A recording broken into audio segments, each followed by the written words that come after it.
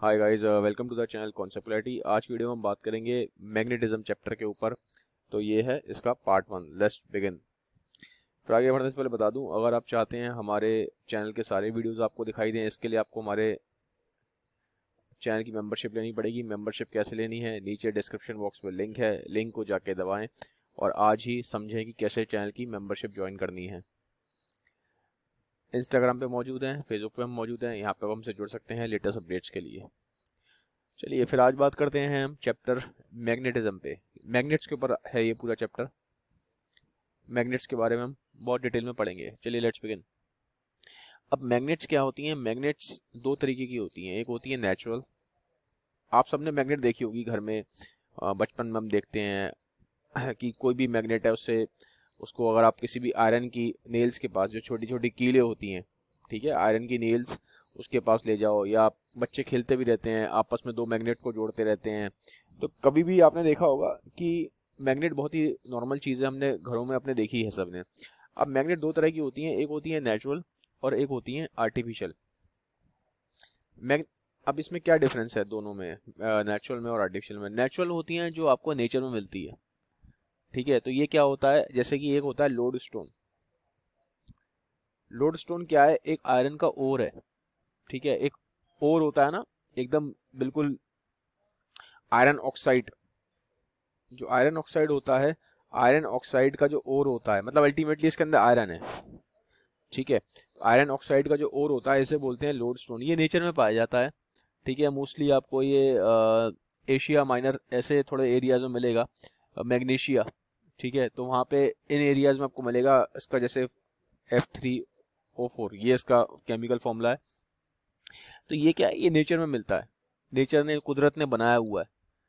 तो ये जो चीज़ें हैं मतलब जो ऑलरेडी नेचर में मिल रही हैं लोड स्टोन इसको कॉमन लैंग्वेज में लोड स्टोन बोला जाता है। तो ये जो आयरन ऑक्साइड की ओर है लोड स्टोन ये जो नेचर में एग्जिस्ट करती है ऑलरेडी ये होता है नेचुरल मैग्नेट इसे क्या बोलते हैं? ये एक नेचुरल मैग्नेट है। तो आपसे पूछा जाएगा नेचुरल मैग्नेट कौन सी तो आप बोलोगे लोड स्टोन अब आर्टिफिशियल क्या होती है? आर्टिफिशियल क्या होती है? जैसे मान लो आप आयरन ले लो। अब इस आयरन को अगर हम लोड स्टोन से रब कराएँ, इस आयरन को लेके पीस ऑफ़ आयरन को लेके अगर हम रब करा दें लोड स्टोन से तो हम देखेंगे वो जो पीस ऑफ़ आयरन है, उसके अंदर भी मैग्नेटिक प्रॉपर्टी आ जाएगी। तो अब ये जो मैग्नेटिक प्रॉपर्टी डेवलप हो गई आयरन के अंदर रब कराने के बाद लोड स्टोन से तो ये आयरन का पीस जो है, जो अपने आप में क्या हो गया, एक मैग्नेट बन जाएगा।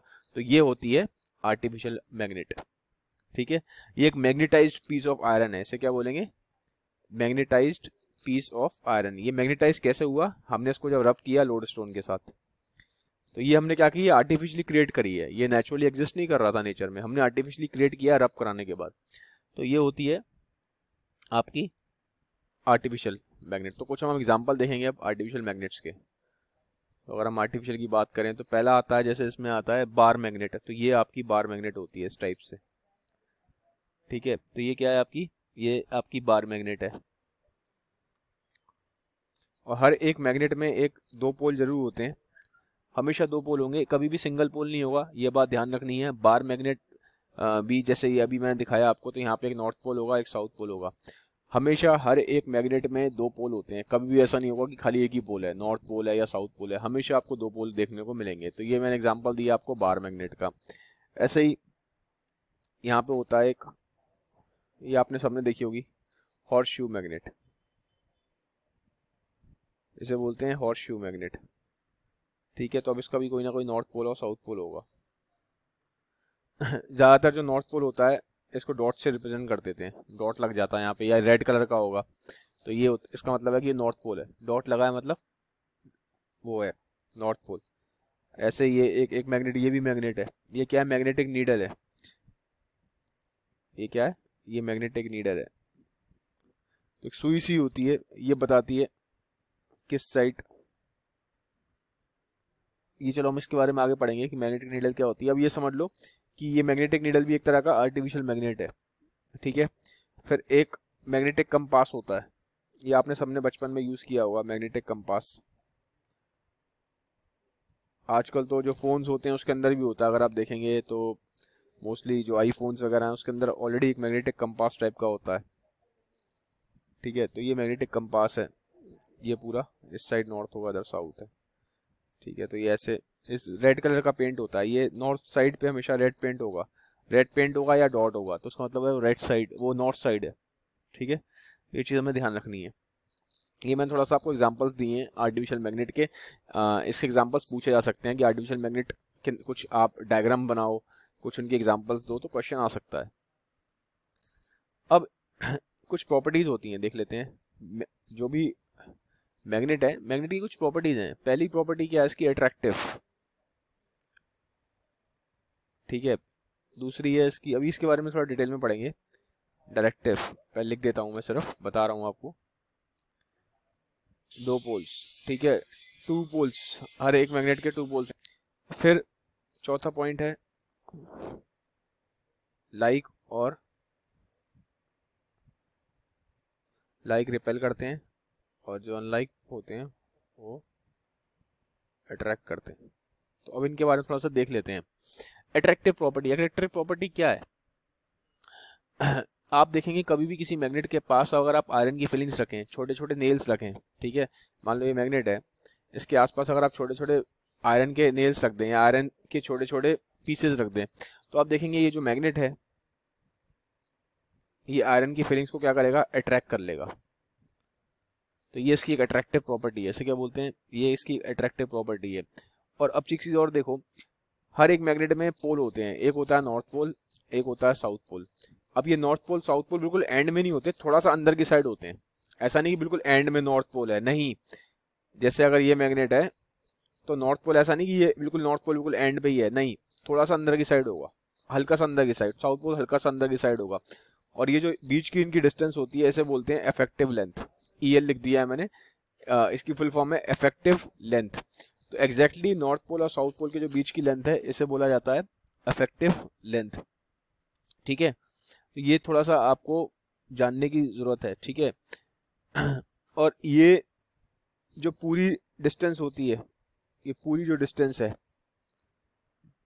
ये जो जो इमेजिनरी लाइन बना रहा हूँ मैं, जो दोनों पोल्स को ज्वाइन कर रही है, अगर आप देखेंगे दोनों पोल्स को ये जो लाइन ज्वाइन कर रही है, इसे बोलते हैं मैग्नेटिक एक्सेस क्या बोलते हैं? मैग्नेटिक एक्सेस जो लेंथ है पूरी नॉर्थ पोल और साउथ पोल के बीच में इसे बोलते हैं इफ़ेक्टिव लेंथ और अगर मैं इसे एक लाइन से ज्वाइन कर दूँ, ठीक है, एक एक्सेस सी बना दूँ लाइन सी बना दूँ इमेजिनरी लाइन जो दो पोल को ज्वाइन करती है मैग्नेट के, उसे बोलते हैं मैग्नेटिक एक्सेस ऑफ़ मैग्नेट ये इंपॉर्टेंट चीज़ है ध्यान रखना. और जनरली ये जो इफ़ेक्टिव लेंथ होती है, ये जो मान लो ये पूरी लेंथ है, अगर हम पूरी लेंथ लेके चलें, मान लो पूरी लेंथ एक्स है, ये पूरी लेंथ एक्स है मैग्नेट की तो जो इफ़ेक्टिव लेंथ होगी, वो होगी फाइव सिक्स टाइम ये ऐसे five point six times of X ये इफ़ेक्टिव लेंथ होगी। अगर लेंथ एक्स दी है, पूरी लेंथ एक्स है तो इफ़ेक्टिव लेंथ होगी five point six times of X ये ध्यान रखना ज़रूरी है। ठीक है? डायरेक्टिव प्रॉपर्टी सॉरी अब देखते हैं सेकंड प्रॉपर्टी थी इसकी डायरेक्टिव डायरेक्टिव प्रॉपर्टी एक तो हमने पढ़ लिया अट्रैक्टिव अब है डायरेक्टिव डायरेक्टिव क्या होती है? डायरेक्शन दिखाती है। अगर हम इसको, ये एक धागे से बाँध के ऐसे लटका दें मैग्नेट को। ये ऊपर पॉइंट है। यहाँ से एक धागा ले लिया सिल्क का थ्रेड ले लिया। उसको लटका दें अगर हम मैग्नेट को। तो ये ऑटोमेटिकली आप देखेंगे, ऐसे नॉर्थ पोल और साउथ पोल के डायरेक्शन में आ जाती है।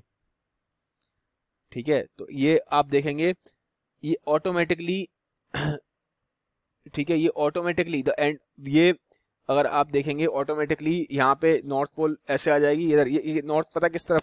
जो अर्थ का जोग्राफिक नॉर्थ है। जो अर्थ का जोग्राफिक नॉर्थ है इस डायरेक्शन में आ जाएगा ये आ जाएगा जो अर्थ का जोग्राफिक साउथ है।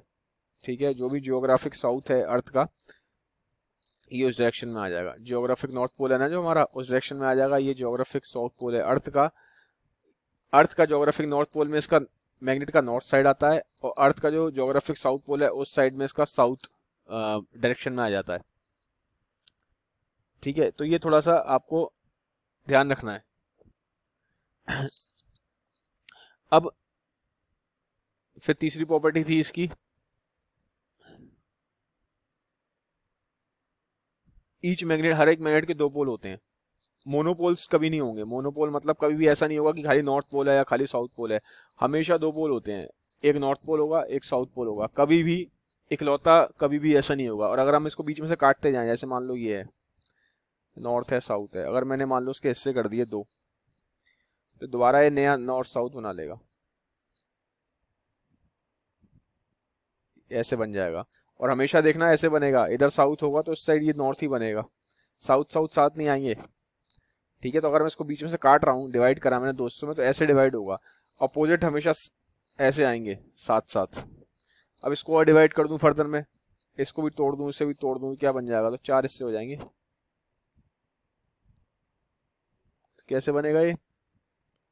North south north south north south north south ठीक है तो इस तरीके से चार हिस्से में डिवाइड आप देखेंगे, हमेशा ये अपोजिट साथ रहते हैं। ये देखो, इधर अपोजिट है, इधर अपोजिट है। अपोजिट में डिवाइड होता है, ऐसे डिवाइड होता है। ठीक है, और हर एक डिवीज़न पे आप देखेंगे जो इंडिविजुअल मैग्नेट है, इसकी स्ट्रेंथ कम होती जाएगी। ठीक है, जैसे जैसे आप उसे तोड़ते जाएँगे, इसकी स्ट्रेंथ कम होती जाएगी।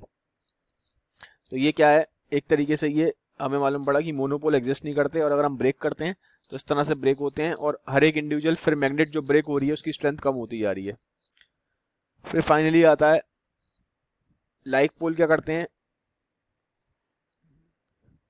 रिपेल करते हैं और अपोजिट पोल क्या करते हैं? अट्रैक्ट करते हैं। इसके लिए कुछ बड़ी चीज़ नहीं है, आपने मान लो एक मैग्नेट टांग दी, ये मैग्नेट है आपकी, आपने टांग रखी है। सिल्क थ्रेड से टांग दी, ये नॉर्थ साउथ है। इसके पास आप एक मैग्नेट और लेके आए। और यहाँ साउथ लेके आए। ये मैग्नेट आप इस मैग्नेट के पास लेके आएँगे जो टंगी हुई है तो आप देखेंगे ये क्या होगा? ये रिपेल करेंगे। दोनों ये रिपेल करेंगे, ठीक है? अलग अलग होंगे। मूव्स अवे तो हम क्या कहेंगे? ये हम देखेंगे मूव्स अवे हो जाती हैं। आप खुद भी देखना, अगर दो मैग्नेट हाथ में पकड़ोगे ना साथ साथ लेके आओगे तो अपोजिट वाले जो होंगे, अगर अपोजिट पोल अगर आप पास लेके आओगे तो ये दूर हो जाएगी मैग्नेट। और अगर आप एक जैसे पोल पास लेके आओगे तो सॉरी अपोजिट लेके आओगे तो चिपक जाएँगी सेम लेके आओगे तो दूर हो जाएगी, क्योंकि लाइक पोल रिपेल करते हैं अपोजिट पोल अट्रैक्ट करते हैं। अब इसी में मान लो आप देखो, ये हमने, यही वाली मैग्नेट को ले रहा हूँ, मैं यहाँ बना रहा हूँ। ये नॉर्थ पोल ले लिया साउथ पोल लिया। अब एक मैग्नेट और लेके आया मैं। अब यहाँ पे नॉर्थ पोल है। अब क्या हुआ इस केस में? तो हम देखेंगे ये ये आपस में एक दूसरे की तरफ़ आती हैं। ये मूव्स अब एक ही जगह क्या हो जाएगा? मूव्स टू वर्ड क्यों? क्योंकि ऑपोजिट पोल आ रहे हैं। अब ऑपोजिट पोल आ रहे हैं तो अट्रैक्ट करते हैं, ठीक है, एक दूसरे की तरफ़। तो ये एक मैग्नेट्स की प्रॉपर्टी होती है, जो मैंने अभी आपको समझा दी है। फिर एक फंडा होता है इंड्यूस्ड मैग्नेटिज्म का। अब एक इंड्यूस मैग्नेटिज्म क्या है? देखो, जैसे मान लो ये मैग्नेट है, ठीक है, और जैसे इसके अब इस आ, पहले मैग्नेट लेके चलते हैं। ये क्या है? नॉर्थ है ये स्टील है।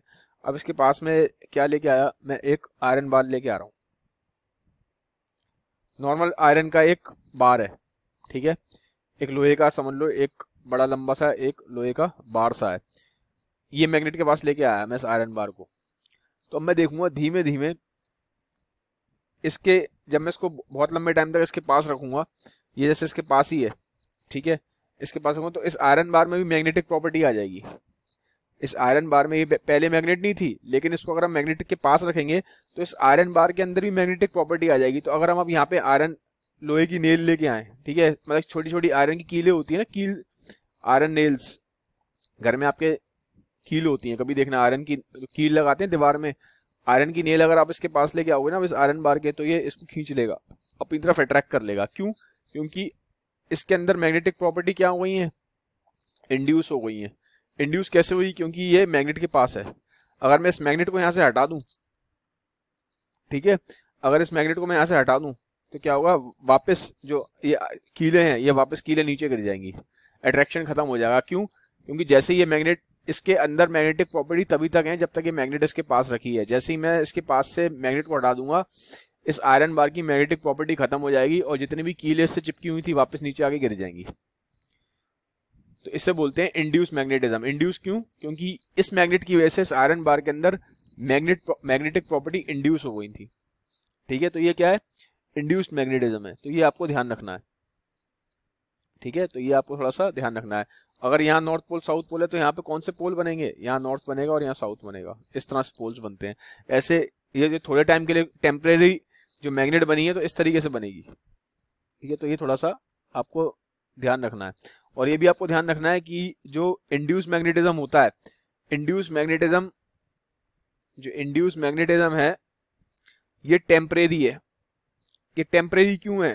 क्योंकि ये तभी तक है जब तक ये वाली मैग्नेट है। जैसे ही मैंने ये वाली मैग्नेट हटा दी, जैसे ही मैं ये वाली मैग्नेट हटाऊँगा तो क्या होगा? इसका जो मैग्नेटिक प्रॉपर्टी है, खत्म हो जाएँगी।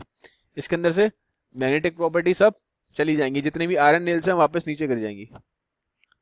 ठीक है तो ये चीज़ बहुत इंपॉर्टेंट है। इसको ध्यान रखना आपको ज़रूरी है। ठीक है, अब होता है, एक होता है लाइंस ऑफ़ मैग्नेटिक फ़ील्ड क्या होता है? लाइंस ऑफ़ मैग्नेटिक फ़ील्ड अबे लाइंस ऑफ़ मैग्नेटिक फ़ील्ड क्या होता है? लाइंस ऑफ़ मैग्नेटिक फ़ील्ड की बात करूँ। ये स्पेलिंग यहाँ पे आपको ऐसे कंफ्यूजन ना हो।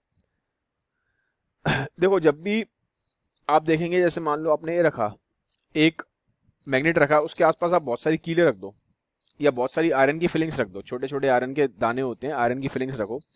तो आप देखेंगे, जितने भी आयरन की फिलिंग्स होंगी, वो एक प्रॉपर पैटर्न बना लेंगी। क्या बनाएँगी? उसके आसपास एक प्रॉपर पैटर्न बना लेंगी। अगर ये मैं, जैसे मैग्नेट रखी है मैंने इसके आसपास अगर मैं बहुत सारी आयरन की फिलिंग्स रख दूँ, ठीक है? बहुत सारी आयरन की फिलिंग्स रख दूँ, बहुत सारी आयरन की फिलिंग्स ये आयरन की फिलिंग्स है। बहुत सारी आयरन की छोटी छोटी फिलिंग्स रख दी मैंने। तो आप देखेंगे, कुछ टाइम बाद ये जो मैग्नेट है, इसके आसपास जो मैग्नेटिक आयरन की फिलिंग्स है, ये प्रॉपर पैटर्न में आ जाएँगी, ठीक है? एक प्रॉपर पैटर्न बना लेंगी। तो ये प्रॉपर जो पैटर्न बनाएँगी, वो किसकी वजह से है? वो मैग्नेटिक फ़ील्ड की वजह से है। तो अगर आप देखेंगे तो एग्जैक्टली मैग्नेटिक फ़ील्ड इस तरीके से होती है। जो भी मैग्नेट होगी, उसके आसपास एक मैग्नेटिक फ़ील्ड होती है, वो कुछ इस तरीके से होगी, आप देखेंगे। हमेशा नॉर्थ से निकलती है, मैग्नेटिक फ़ील्ड की जो लाइंस होती हैं, देखेंगे नहीं, इनविजिबल होती हैं। ये ऐसे। एक चीज़ हमेशा ध्यान रखना, हमेशा नॉर्थ से निकलती हैं और साउथ में ये एंटर करती हैं। नॉर्थ से निकलेंगी साउथ में एंटर करेंगी, नॉर्थ से निकलेंगी, साउथ में एंटर करेंगी, साउथ पोल में एंटर करती हैं, सॉरी, ऐसे आएगा। ठीक है, नॉर्थ पोल से निकली, साउथ पोल में एंटर करेंगी। तो ये आपको ध्यान रखना है, ये इस तरीके से मैग्नेटिक फ़ील्ड बन जाती है। ठीक है, इस तरीके से अगर आप देखेंगे, मैग्नेटिक फ़ील्ड बन जाती है। हर एक मैग्नेट के आसपास एक मैग्नेटिक फ़ील्ड होती है। ये मैग्नेटिक फ़ील्ड जितना आप पास जाएँगे, यहाँ पे स्ट्रांग होगी यहाँ पे कंपेरेटिवली वीक होगी। इस एरिया में स्ट्रांग है, क्योंकि पास है मैग्नेट के। जितना दूर जाएँगे वीक होती जाएगी। इसलिए आपने देखा होगा मैग्नेट के पास लाते हो आप आयरन की नेल को तो फटाफट चिपक जाती है। आयरन की नेल को दूर लेके जाओगे तो नहीं चिपकती। क्योंकि दूर जो है मैग्नेटिक फ़ील्ड का इन्फ्लुएंस खत्म हो रहा है। मैग्नेटिक फ़ील्ड जितना मैग्नेट के पास होगी, उतनी स्ट्रांग होती है। ठीक है तो मैग्नेटिक फ़ील्ड लाइन क्या कंटिन्यूस कर्व्स हैं। ठीक है कंटिन्यूस कर्व हैं। और अगर आपको यहाँ पे डायरेक्शन निकालना है मैग्नेटिक फ़ील्ड का तो कैसे निकालोगे? इस किसी भी पॉइंट पे अगर आप टेंजेंट ले लेते हो, मान लो ये है, सर, ये सर ये सर, एक वो है ना, क्या है ये? कर्व्स हैं। कर्व है ना, ये सारे कर्व भी तो हैं। तो कर्व में अगर मुझे डायरेक्शन निकालना होता है आपको पता होगा मैथ से हम हमेशा टेंजेंट निकालते हैं। तो अगर मुझे यहाँ पे अगर डायरेक्शन निकालना है, ठीक है, मुझे मैग्नेटिक फ़ील्ड का डायरेक्शन निकालना है, ठीक है तो कैसे निकालूँगा? तो मैं टेंजेंट निकालूँगा इस पॉइंट पे। इस पॉइंट पे अगर मैं टेंजेंट निकाल लूँ, या इस पॉइंट पे मुझे निकालना तो इस इस पॉइंट पे अगर मैं टेंजेंट निकाल लूँ तो जब भी मैं टेंजेंट निकालूँगा तो मुझे डायरेक्शन मिल जाएगा। समझ रहे हो? तो जो tangent at any point gives the direction of magnetic field at that point किसी भी पॉइंट पे, मान लो मुझे मैग्नेटिक फ़ील्ड का डायरेक्शन निकालना है इस पॉइंट पे तो कैसे निकालूँगा? इस पॉइंट पे टेंजेंट टेंजेंट बना दूँगा। तो जब भी टेंजेंट बनाओगे उस कर्व पे, उस पॉइंट पे तो उस पॉइंट पे मैग्नेटिक फ़ील्ड का डायरेक्शन निकल जाता है। तो ये पॉइंट आपको ध्यान रखना ज़रूरी है। अब फिर हम बात करते हैं अब हम बात करेंगे यहाँ पे कुछ प्रॉपर्टीज़ की, ठीक है? मैग्नेटिक फ़ील्ड की कुछ प्रॉपर्टीज़ होती हैं थोड़ा सा प्रॉपर्टीज़ के बारे में देख लेते हैं। क्या प्रॉपर्टीज़ होती है मैग्नेटिक फ़ील्ड की? एक तो क्लोज और कंटिन्यूस कर्व्स हैं, ये मैं आपको बता दिया। क्लोज होते हैं कंटिन्यूस कर्व्स होते हैं, अभी पीछे हम देख के आए हैं। क्लोज और कंटिन्यूस कर्व्स हैं, ठीक है? दूसरा क्या होता है? हमेशा निकलते हैं नॉर्थ पोल से और हमेशा साउथ पोल की तरफ़ एंटर करते हैं, ठीक है? हमेशा निकलते हैं नॉर्थ से हैं साउथ में एंटर करते हैं, ये पॉइंट मैंने आपको बता दिया है ऑलरेडी तो लिखूँगा नहीं।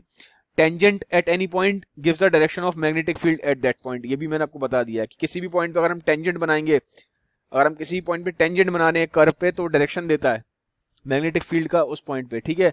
और कभी भी दो मैग्नेटिक फ़ील्ड एक साथ इंटर, इंटरसेक्ट नहीं करती।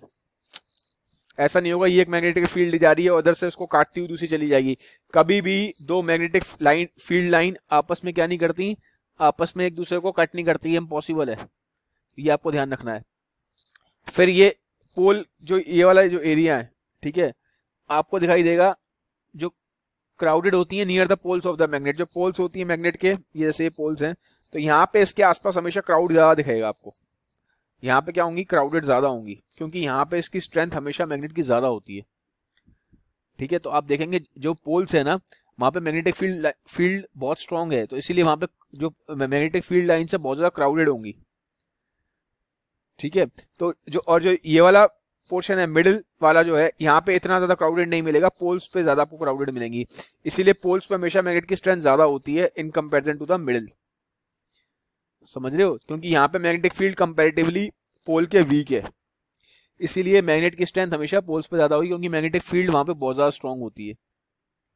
फिर ये पैरल होती हैं और इक्विडिस्टेंट होती हैं। एक यूनिफॉर्मिटी होती है इनके अंदर, ठीक है? पैरेलल होती हैं और इक्विडिस्टेंट होती हैं। ये चीज़ भी इंपॉर्टेंट है, ठीक है? पैरेलल होती हैं और इक्विडिस्टेंट होती हैं। ये आपको ध्यान रखने की ज़रूरत है, ठीक है? और फिर ये बिहेव कैसे करती हैं? जैसे कि इलास्टिक रबड़ स्ट्रिंग होती है ना, जैसे रबड़ स्ट्रिंग होती है, उसको खींचते हो स्ट्रेच करते हो, फिर वापस आ जाती है स्ट्रेच करते हो, वापस आती है इस टाइप से होती हैं।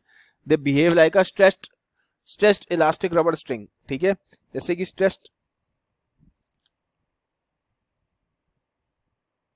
stretched elastic rubber string इस तरह से बिहेव करती हैं ठीक है? तो ये कुछ इनकी अराउंड सात प्रॉपर्टीज़ हैं। आप बुक में दोबारा चेक कर लेना थोड़ा सा डिटेल में समझ में आ जाएगा। ये मैंने आपको कॉन्सेप्ट समझा दिए हैं। तो गाइज़ इसी के साथ ही हमारा पार्ट वन खत्म होता है। जल्दी ही पार्ट टू लेके आऊँगा। अगर वीडियो अच्छा लगा तो यार काइंडली इसको शेयर ज़रूर करें। Have a nice day bye take care